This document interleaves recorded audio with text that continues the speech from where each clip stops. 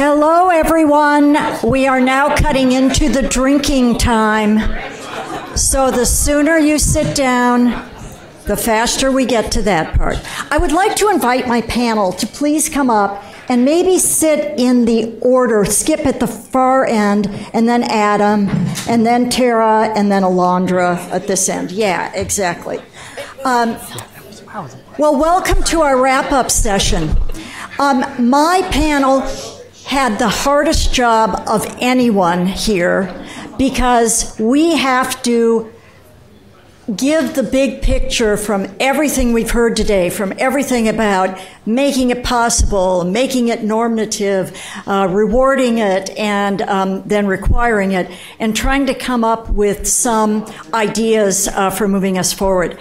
For those of you who don't know me, I'm Marcia McNutt. I'm president of the National Academy of Sciences. It's a pleasure to have you all here for this important meeting. Um, by way of background, how I got involved in this whole topic uh, goes back to the year 2013 when I became editor in chief of science. That was the year after Glenn Begley published his paper that was like a shot heard around the world on the fact that um, so much research in cancer biology was irreproducible uh, at his organization, which was Amgen. So as soon as I got to science, all the editors at Science were very concerned about that and very much wanted to focus on things that they could do in order to improve the situation for the benefit of the reputation of science.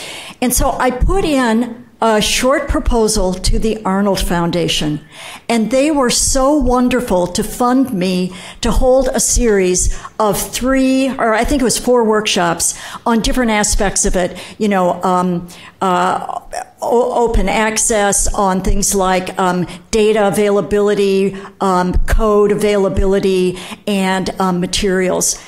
Um, one of the biggest outcomes to come out of that was the top standards because at our second workshop, I teamed up with Brian and he held that workshop down at COS in uh, Charlottesville. And that was probably the most lasting impact from that series. So I, I started working with Brian at that time and then joined the board of COS. So, my distinguished panel here um, on the far end is Dr. Skip Lupia. Skip is the Gerald R. Ford Distinguished Professor, um, University Professor of Political Science at uh, University of Michigan. Uh, Dr. Adam Russell is next to him, and he's the director of the AI division in the Information Sciences Institute at USC. Then we have Tara Schwetz, who's the acting principal deputy director at the National Institutes of Health. And then, of course, Alondra Nelson here, who's the Harold F. Linder Professor, uh, Institute, Harold F. Linder Professor at the Institute for Advanced Studies, um, which is uh, associated with Princeton. No, no. no. All right. Um, and Princeton. But not at Oh, okay. I'm sorry. In Princeton. In Princeton. And of course, uh, Alondra is well known uh, around here because she was the uh, former acting director at OSTP. So, Skip, the floor is yours. Thank you. More than we know. More than we know. So we're here to celebrate the incredible accomplishments of the Center for Open Science. The Center for Open Science has changed the world.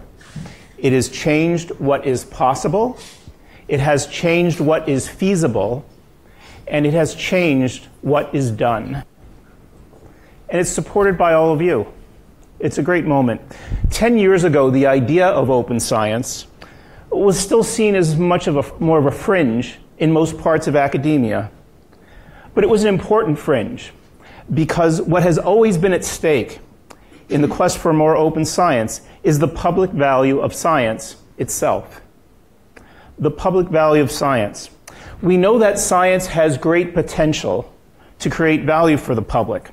It has the potential to foster the next revolutionary technological advance. It has the potential to plant the seeds for the next life saving vaccine. It has the potential to help people all over the world who depend on science for the next policy intervention or the next medical intervention that can improve quality of life for people and save lives. But the extent to which the potential of science to do these things, the extent of that potential, is still an open question. And it exists in an era of uncertainty and open questions about science. In an era of multiple truths, right, there are questions about who can be trusted. And in many places, those questions extend to science, whose very credibility and legitimacy are under question. And it's not just politics, because there are varying levels of awareness that scholarly incentives have created ecosystems that mass produced false positive claims and sold them to other researchers and to the public as being valid scientific claims. The Center for Open Science led a vanguard of people and communities who knew that we could do better. In 10 years, they've built infrastructure, created focal points, and empowered communities through an approach to open science that's accessible, scalable, and incentive compatible. Thanks to this work, researchers all over the planet can engage in more credible and legitimate research practices. It's an incredible thing, and it's thanks to all of you. But the success matters more than we might know. Right? And to get a sense of the scale of what you have accomplished, I'd like to raise a question who are the beneficiaries of open science? So some of the beneficiaries of open science are easy to see. They're in this room. But most of them are invisible to us. Most of them are invisible to us. Think about it for a second. Think about all the people who've never been to the National Academy of Sciences. Randomly select any number you choose. What do they look like? What are their days like? What are their concerns like? Think about the university or institution at which you work. Think about all the people who've never stepped foot there. What do they look like? What are their lives like? What are their concerns? You can think of people who've never stepped on any university campus or have never met a researcher. Think about that population. Randomly select from them. What do they care about? What are they concerned about? What do they need to get them through the day? While these people are invisible, to many parts of the scientific establishment, they're not invisible.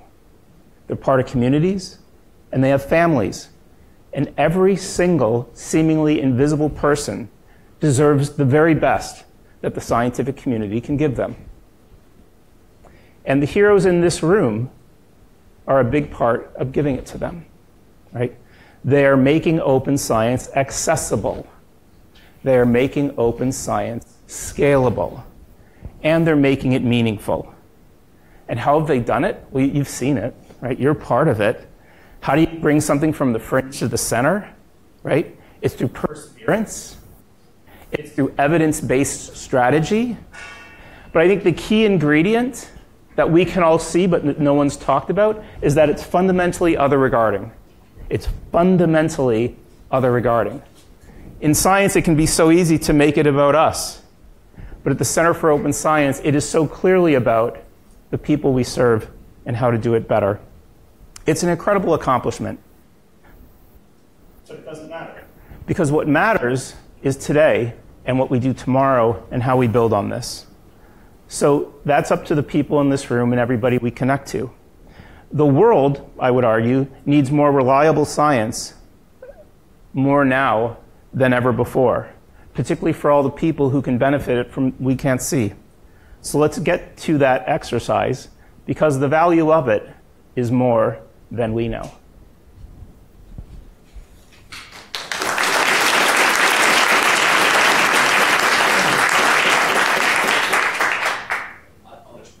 Come on, man. Come on, man. I said I wasn't going to cry. Um, okay. Uh, you ever you ever have deja vu? Um, I'm having deja vu right now uh, because every time Brian asks me to give a talk, I end up having surgery just before that. So in 2019 in Metascience, I was I had my knee done, and now here I am with my bionic arm. Not not DARPA approved. Uh, darn it, couldn't get one. I know, right? It would have been great uh, as I just fly off. Uh, yeah, well, not yet. I'm not, and I can never, I can no longer speak for ARPA-H. Uh, more on that in a moment. Um, but I also bring that up so that Brian, you know that my injury is my arm and not that I'm having a stroke. When I say this word OODA, OODA, right? So, uh, Department of Defense they use this term OODA, which stands for Observe, Orient, Decide, and Act, and it's called an OODA loop. And uh, Colonel John Boyd from the Air Force proposed this as basically the person with the tightest OODA loop wins because they can adjust as fast as they need to. A good loop allows you to amplify what's working and allows you to inhibit what's not. And I think we are in too slow of an OODA loop. And I think a key mechanism to speeding up that OODA loop is open science. Uh, one example, uh, in 2005, a, a, Nature had an amazing article about how trust enhances, um, or sorry, oxytocin enhances trust in humans. Uh, and that is big if true, to quote Tom Khalil. So when I was at ARPA, I, ARPA, we stood up a program on this question of can we measure trust? Given that it came out of nature, it was you know it was a perfect example of everything I would argue that's essentially wrong, right? It's a novel uh, uh, claim. There was no open data. There was no ability to actually verify this stuff. Uh, so I knew by 2010 that that was probably not true, and it took until 2014 for my program to have a null result, essentially arguing that published. Nine years is too long as an OODA loop period. Um, so if I end up talking to Brian here briefly, uh, y'all can you all can just leave or listen in if you want. But Brian, uh, and the reason I'm mentioning this is because you know we sort of have been on this on this journey. Uh, you know, Christy mentioned today she's been writing about the reproducibility problem since you know since it started. I was living it right in 2008 2009. Um, so early on, even before Center Open Science stood up, uh, you know, you were an inspiration. Uh, you allowed me to say I wasn't crazy, that I should force my performers. And force is the operative term, by the way, uh, to pre-register. They had to make predictions.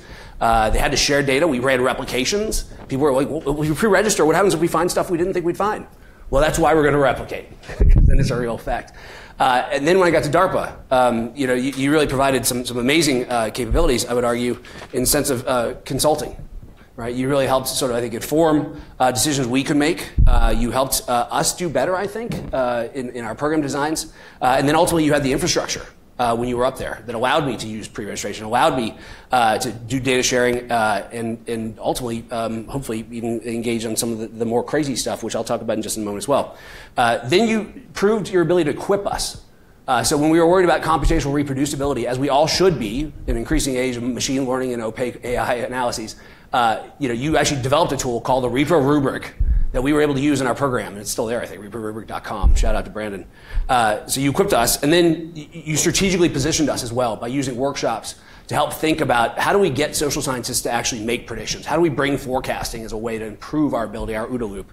Um, and then how do we even think about like AI and reproducibility, where there's going to be this challenge, and where, by the way, it's not obvious that you want everything open in this area, right, of machine learning AI. It's not clear to me that just making it freely available is the answer.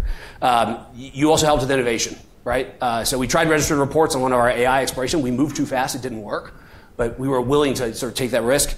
Uh, you ran a prediction market on our on our experiments. Turns out social scientists are very bad at predicting complex experiments. That's fine. Now we know. Our OODA loop is tight.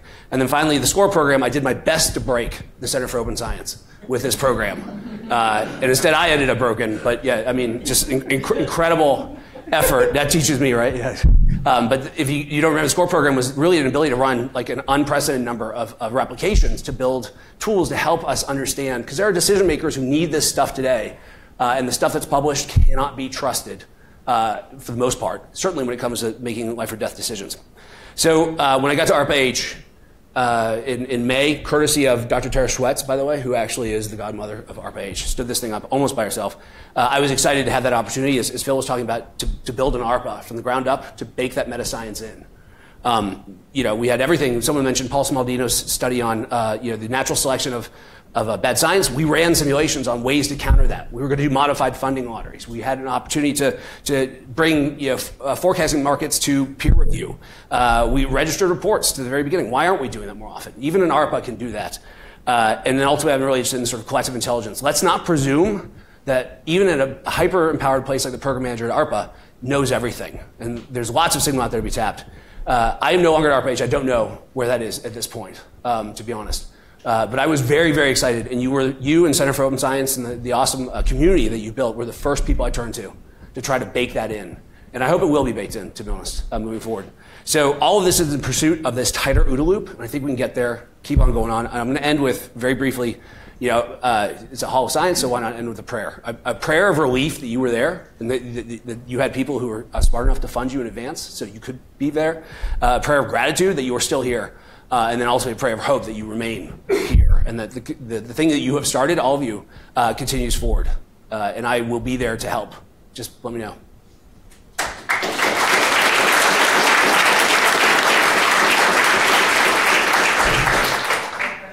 after you. You know, I mean, the two of those. Um, but it's true. Actually, one thing he left out of that was Adam uh, and I sort of geeked out and bonded. And I think half the reason I was able to convince him to come help me stand up ARPA H was because we talked about all of those, well, a lot of those things anyway that, that he just mentioned, which is um, a potential um, opportunity to, to leverage, um, hopefully not just at ARPA H, and maybe we can adopt some of those things at, at NIH as well. And we've been having those conversations.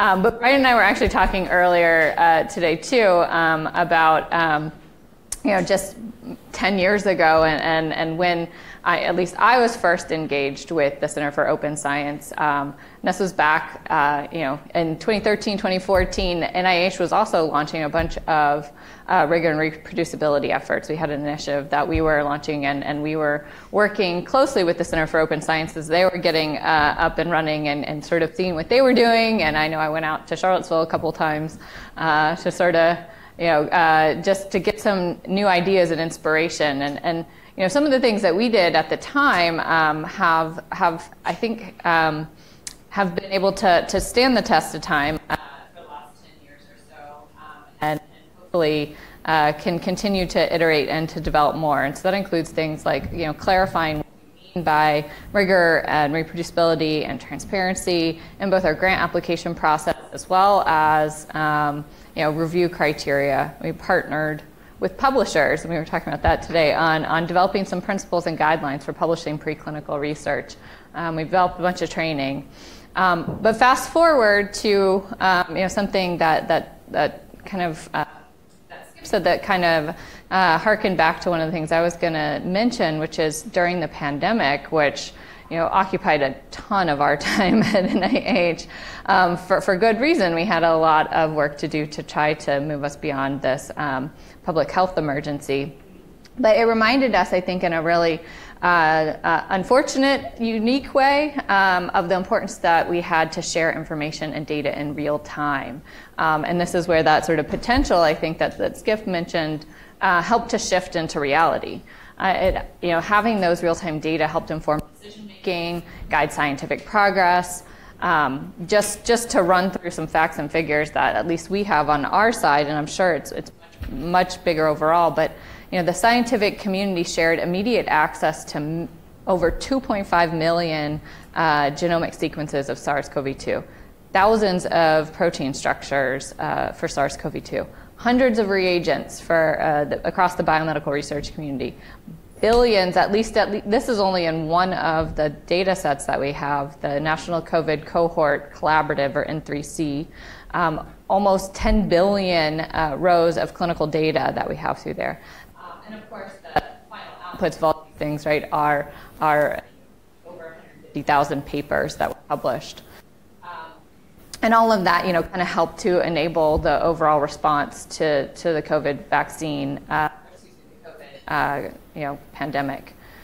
Um, but I, also wanted to touch on a few things, just because they've come up uh, in the various some of the various sessions that I, have seen today. Uh, since I'm I'm I'm uh, representing the government perspective, I guess, on this panel filled by former government folks. Um, but but you know they're sort of you know thinking about two main components of, of open science, um, and that's data sharing and public access. And I, I think as hopefully most of you know, uh, 2023 um, is the year of open science according to OSTP, um, and it's it's a you, you could you could a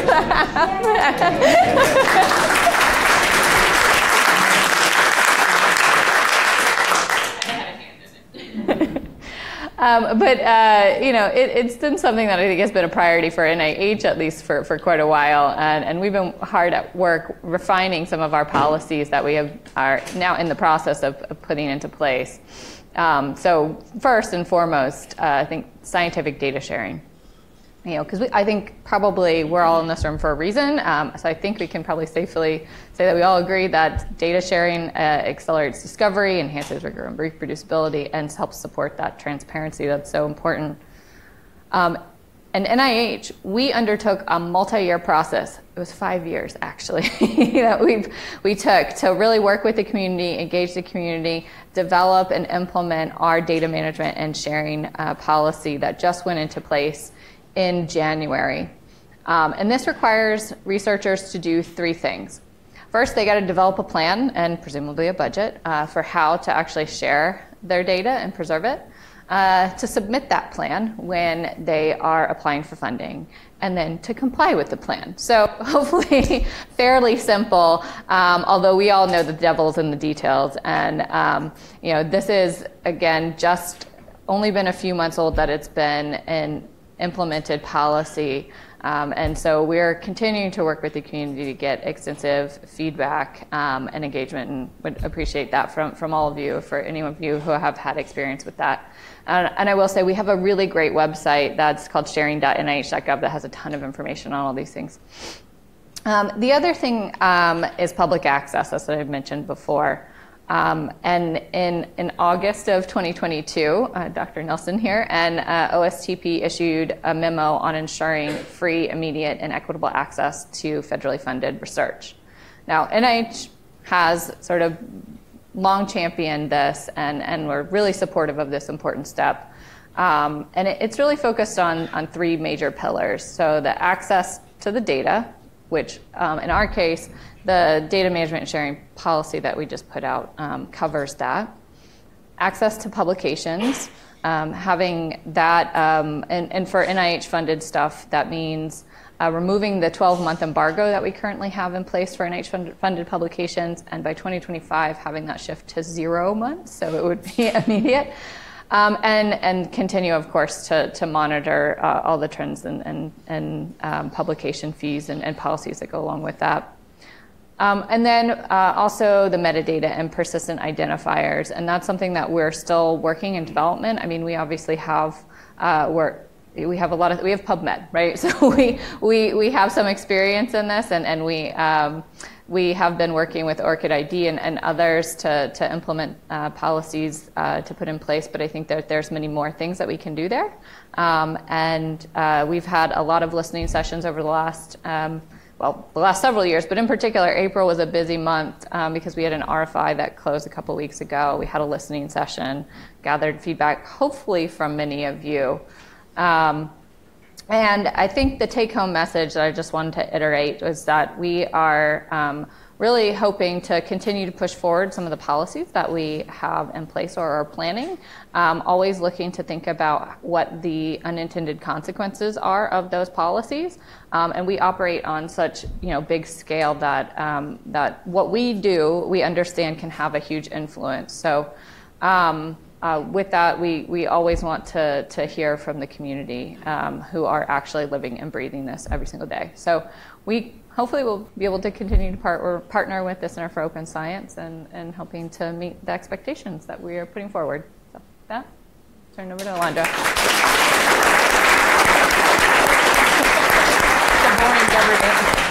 It was not boring, and it's good to see. And also, Tara was my, my colleague at OSTP for a time, so it's great to be back. So, good afternoon, everyone. Congratulations to the Center uh, for Open Science for a decade of leadership. In this year, that is also the year of open science um, that has helped to move scholarly communities closer toward our public benefit mission, to underscore what Skip was saying, and has helped to provide transparency, accountability, and rigor, um, and mostly quantitative research um, in particular. So I left government service about two months ago. I no longer feel uh, any obligation to speak on capacity uh, on, the, on behalf of an official capacity or on behalf of the Biden-Harris administration. Um, but I think on a panel uh, that's about change agents, I would be remiss to not actually talk about the president as a change agent here. So um, what we were able to do um, in the administration is because the um, you know, the President of the United States is a believer in open science, um, particularly from the perspective of science of cancer research. Um, and uh, when given the opportunity to talk about it, talks about it. So I'm going to give you just a couple of examples because I, I think it's really important that people appreciate um, how important his role was and, and allowing um, us as Adam and I as former federal um, employees and, and Tara to do the work that we do. So this is a quote from the president from 2016 when he was vice president, speaking at the um, American Association for Cancer Research. So he identified the contradictions of a publicly funded research publishing ecosystem um, that had impact as one of its aims, but was uneven in the way that it pursued it. And so this is quoting the president. Right now, you work for years to come up with a significant breakthrough, and if you do, you get to publish in a, pa- a, paper in one of the top journals. For anyone to get access to that publication, they have to pay hundreds, sometimes thousands of dollars to subscribe. And here's the kicker that journal owns the data for a year. The taxpayers fund $5 billion a year in cancer research every year, but once it's published, nearly all of that taxpayer funded research sits behind walls. Tell me how this is moving the process along more rapidly. Then again, in September of, uh, of 2020, uh, September 12, 2022, speaking on the 60th anniversary of President Kennedy's moonshot speech, um, and uh, a few weeks following the OSTP um, uh, updated public access guidance to federal agencies, and on the occasion he would introduce Renee Wegrzyn to the world as his um, appointee for to lead ARPA H. Um, the president said this. So this was just a few, you know, not long ago. We don't share enough data and knowledge to bring the urgency we need to find new answers. He talked about how in the past he had talked about um, how federally funded cancer researchers were not sharing their results with their peers and with the public.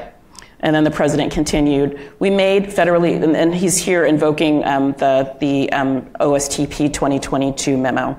We made federally funded cancer research more available to any patient, to any doctor, anywhere for free. And today, as president, we're making sure that transparency applies to all federally funded science beyond just cancer.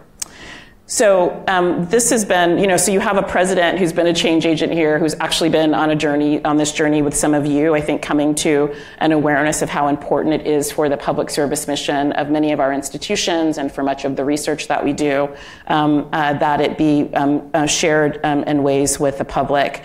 Um, so while I'm honored to be on a panel with true change agents, um, colleagues I admire, I wanted to take a moment to register the president in that space as well. So, if my colleagues have done before me this afternoon, I want to offer a few, a few reflections. Mine are a bit more provocative. Some of you know me, so you won't be surprised to hear that, um, about what we might do for the future, which is to really celebrate and spur on the Center for Open Science, but to also think about um, uh, what this incredible now infrastructure and networking community might spur in the future. Um, so I offer kind of three things, uh, three sort of categories. One, um, something that's obviously to most of you, but I, I would, um, what I'm trying to do here is to challenge this community to really, I think, um, do more of the narrative change work that got you going around the theme of open science not being a publishing model. Um, transformations that promote often open software, privacy preserved open data to the extent possible, with a you know asterisk for Adam's really important remark about um, machine learning and AI and, and how that changes the dynamic a bit. Open code. These transformations are critical to the culture of inquiry, to research, to discovery.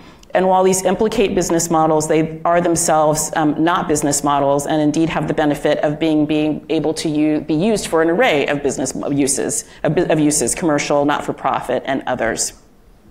So the revised 2022 public access guidance really highlights the importance of the Americans' public access to uh, taxpayer-supported research and this is a criteria that can be accomplished in several ways. Um, you don't, you can uh, use an agent designated repository. You don't have to pay um, APC fees. And, um, you know, I think the hope, and we'll have to, to, see how it's implemented by Tara and others, will be that it helps to bring more kind of dynamism and, and flexibility um, in the larger ecosystem that you all help to catalyze and create. Um, so what I'm offering here, asking here, is a kind of reassertion of and a commitment, a recommitment um, from the open science community to the public mission of open science, to improving the craft of research and its transparency and, and accountability, while also strengthening scientific integrity, um, but to do it truly in a way that um, offers public benefit and does not um, double down on um, business models. Again, going to Skip's really important observations at the beginning um, that uh, really constrain access to these broader communities that are invisible to some of us, but not all of us. Second, um, uh, open doesn't mean accessible or inclusive. Um, and I think that um, you know, open science communities, open software communities often just assume that because something is open, anyone can come and anyone feels welcome to come. And, you know, I hope that we know, particularly um, those of us who lead organizations, those of us who work in the social sciences, actually just know that's not true. And so while the kind of founding mission and vision of this organization and this community around openness was important, it is not sufficient. Um, and that, um, you know, that work needs to be done to expand um, the institutionalist, uh, institutionalization and success of open science in its next decade is going to have to deal with the fact that all researchers don't feel welcome in the space of open science. And the scale that Adam was going is talking about is going to require um, uh, more participation from more people in the open science ecosystem. Um, for example, you know, a real commitment to providing data in ways that are recommended in the 2022 OSTP menu, um, memo um, that enhance accessibility to uh, assistive devices by using machine readable research findings and data, not just research findings and data, but research findings and data that we can make available to people who might not have access to them otherwise. Also, um, uh, in the same vein, a deeper commitment to finding ways to include those who may not always be able to bear um, the, the, the, work of experimenting by publishing in PLOS. So some of my, you know, I've published in PLOS a few times, and um, but that was because I was teaching at Yale and I could publish it. You know, there are a lot of people who can't take what seems to be the risk of working in um, experimental journals. And so, how do we sort of um, change that sort of calculus for people, and how do we help to support that work? Um, I wanted to highlight the work of Dr. Denae Ford Robinson at Microsoft Research, who I hope is a name that's familiar to you. I'm not getting any looks of, of okay, it should be a name that's, that's really familiar to you. She publishes as Denae Ford.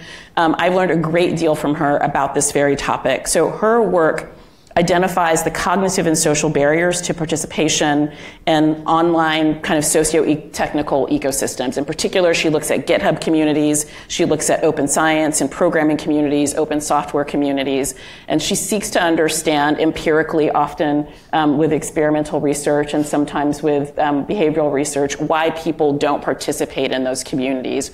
Um, you know, why people comment on or you know, um, uh, you know, give the thumbs up to some people's codes and, and not others people's codes and these sorts of things. So um, this is the kind of research, you know, the meta research, the meta science, I think that will give us observations that will help us to be um, more uh, sort of equitable and inclusive um, uh, um, uh, uh, open science communities.